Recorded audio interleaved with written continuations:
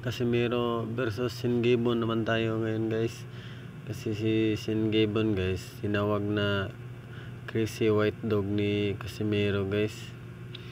At saka yung si Silver Boys guys, tinawag na tagatahol guys ni Sin Gibbon guys.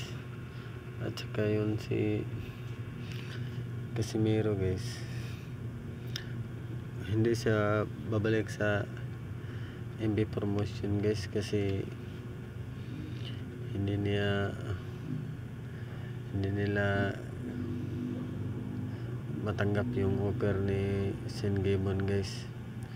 Kasi yung gusto ng kapatid ni Casimiro guys yung si Jason Casimiro guys manadili na lang sila sa treasure boxing guys na promotion